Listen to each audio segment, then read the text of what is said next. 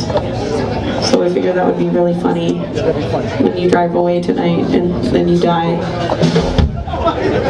Ha ha ha, just a little band humor.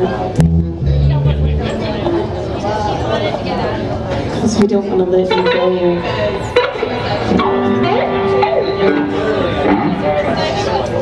So, uh, the first time I ever played Cleveland, I was like 16, and uh, it was with my old band, and we drove up with someone that we didn't really know. It was really weird, and then we got there, and the club was straight edge, and we were decidedly not.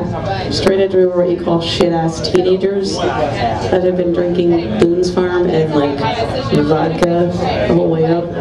So we get there, and the guy who we named Old One Eye because he had like a devil lock over his eye uh, was like, "You can't be drinking," and I went in and covered my own songs, my own Lydia Loveless songs as uh, Ethel Merman for like 45 minutes.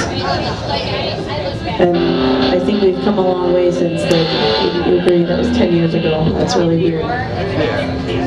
So now I'm going to recreate that night and do all my songs as Ethel I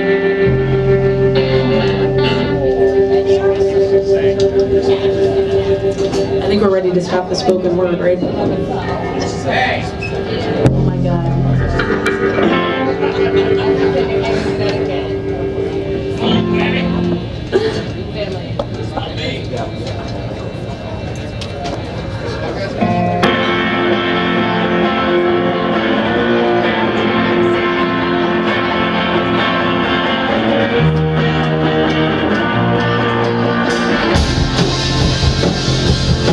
Life